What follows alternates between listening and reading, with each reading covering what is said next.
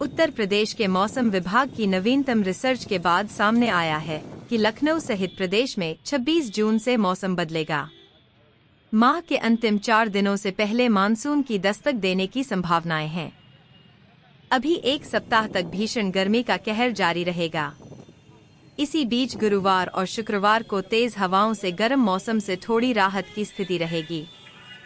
सोमवार को मौसम विभाग की रिसर्च में बताया गया है कि सोमवार और मंगलवार को हीट वेग के कारण सबसे ज़्यादा गर्म मौसम से जनजीवन बदहाल रहेगा।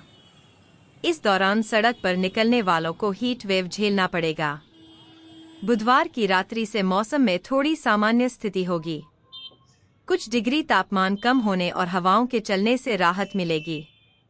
उत्तर प्रदेश में कई मौत और बड़ी संख्या में बीमार लोगों की सूचनाएँ सामने आ रही है।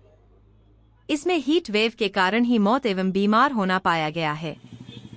हीट वेव के शिकार हुए लोगों की संख्या बीते एक सप्ताह में बढ़ी है। उत्तर प्रदेश स्वास्थ्य विभाग के अनुसार हीट वेव से सांस लेने में दिक्कत, चक्कर आना, खून की कमी, उल्टी होना, शरीर में दर्द बुखार जैसी समस्याएँ सामने आ रही है। इसमें लोगों हिदायत दी गई है कि ज़रूरत होने पर ही घर से बाहर निकलें। पर्याप्त मात्रा में तरल पदार्थ और पानी पीते रहें। इस मौसम में परिजन बूढ़े और बच्चों का खास ख्याल रखें।